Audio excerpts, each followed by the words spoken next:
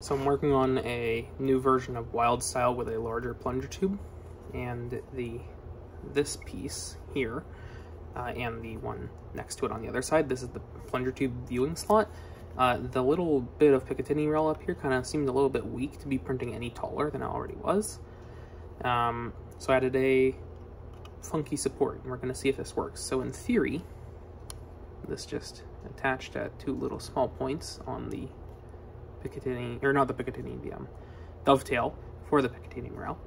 And it has this sort of support at the back, or brim, I guess you could call it. And then in theory, I should just be able to grab these two things and squeeze them together, and then this will snap off. So I'm recording this to see, you know, if it does. Uh, and if it doesn't, it will be fun to watch anyway. Okay, let's see. Okay. Yeah.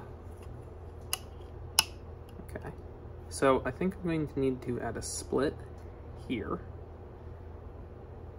Okay. So now I got two little flappy things.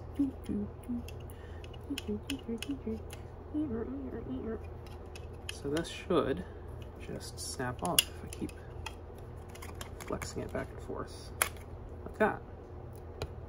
Cool. Now you have a rocket fin.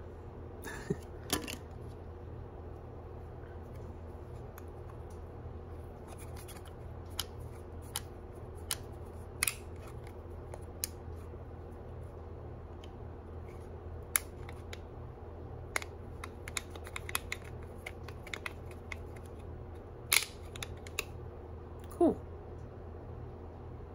All right, and that does leave some ridges here, but I'm pretty sure that those will be fine.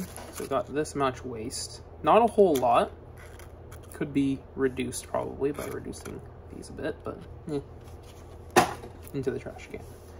Um, so you could just take a knife and go whoop down that to trim it, or one of these kind of deburring things don't want. But I want to see if that just works um, with the Picatinny rail.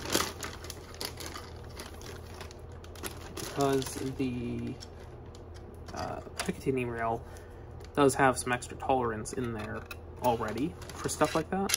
Oh yeah, fits just fine. You don't even need to clean that up. It could even be positive, like taking up extra slack in the rail, like a good thing. Uh, yeah.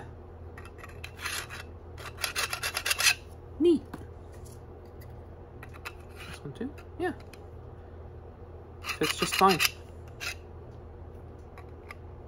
Cool. Pretty happy with that. Alright. That's all that I've got for the video. There's some strings on it.